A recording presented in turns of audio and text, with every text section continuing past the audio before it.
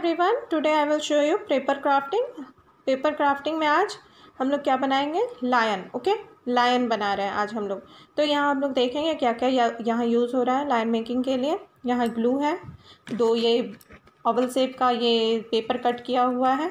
मैंने इसमें लायन के आइज़ बना दिए हैं पहले आपको बाद में फिर से दिखा दूँगी एक बार। ये स्केच पेन स्केच पेन है। पेंसिल कैंची और उसके ईयर्स के लिए ये दो पेपर कट करके रखे हुए हैं। और ये डिश पेपर ओके ये डिश पेपर है। डिश पेपर को फोल्ड करना है ओके फोल्ड करके उसके बैक साइड में ये वर्क होगा। तो इसको ऑरेंज कलर कर लेना कुछ इस तरह से। जैसे ये ऑरेंज कलर किया हुआ है तो इस तरह से ऑरेंज कलर करना है आपको। ओके? आप ऑरेंज कलर करो, फिर उसके बाद इसको ऑरेंज कलर करके वाटर कलर से इसको छोड़ देना है। फिर बाद में इसको जब ये सूख जाए तो इसके बाद ये वर्क करना है, ओके? ना लेट वी सी दिस चलो स्टार्ट करते हैं ये। सबसे पहले क्या करना है? इसे क्या करना है? इसको थोड़ा सा इस तरह से प्रेस करना है। प्रेस करके इस तरह से तीन थ्री फिंगर्स डालने हैं। थ्री फिंगर्स डाल के कुछ इस तरह से फिंगर्स के शेप आउटलाइन बनाने हैं। आउटलाइन बना के इसको फिलअप करना भी है ओके ये थ्री साइड्स में एक इस तरफ़, एक इस तरफ़। देन इस तरफ़ ओके और एक इस तरफ़ सेंटर में।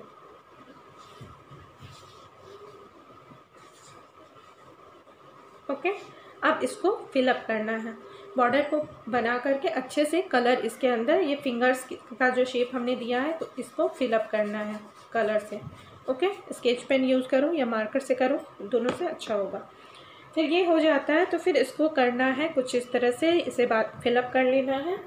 देन इसके बाद यहाँ पर क्या करना है हमें? ये जो आइस मैंने बनाया है इसे इस फिंगर के नीचे और एक आइस जो है, उसे इस फिंगर के नीचे।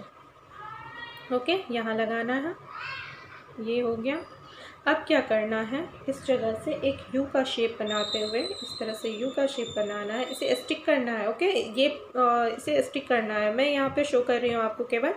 आप इसे स्टिक करो। ये स्टिक होगा ये स्टिक हो जाएगा। देन यहाँ इसको इस तरह से फिलअप करना है। ये ब्लैक यहाँ फिलअप हो जाएगा।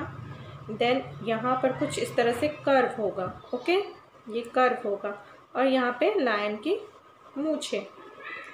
आप कुछ इस तरह से इसका मूछ भी बना सकते हो, इस तरह से निकाल सकते हो आप।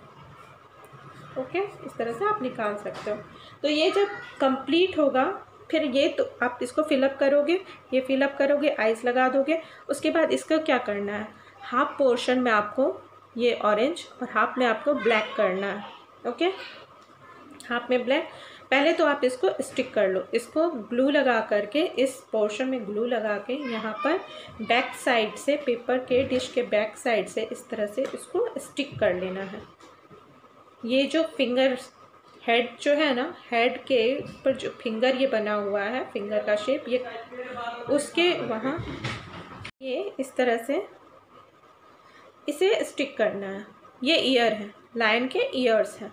ये स्टिक जब हो जाएँगे तो आपको बताओ कैसा दिखेगा ये? इस तरह से दिखेगा। है ना? कुछ इस तरह से। यहाँ ऑरेंज यहाँ ब्लैक हाफ़ पोर्शन में ईयर के हाफ़ पोर्शन में ब्लैक करना है हाफ़ में ऑरेंज रहेगा।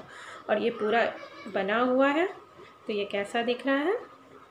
कुछ इस तरह से दिख रहा है। देखिए, है ना मस्त? Look so beautiful